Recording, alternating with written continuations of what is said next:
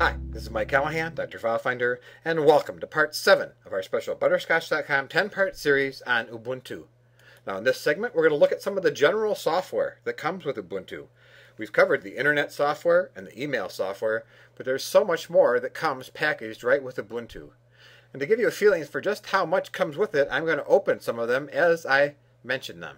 So under Applications and Accessories, you get a calculator, you get a DVD creator, you get a character map, you get a disk usage analyzer.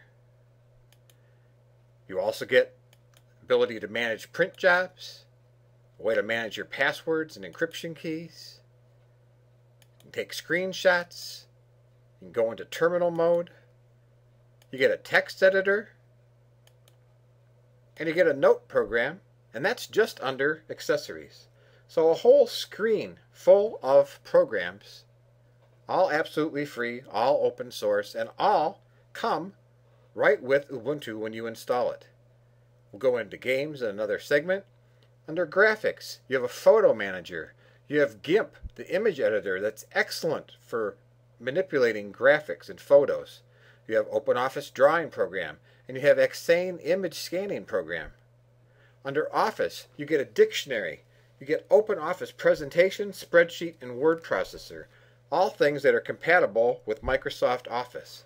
And under Sound and Video, you get a disc burner, a movie player, a music player, and a sound recorder. So you get all this volume of software, all free, all excellent, all frequently updated, and it all comes with Ubuntu, and it's there when you install the operating system. So this is the general software that comes with Ubuntu. And that concludes part 7.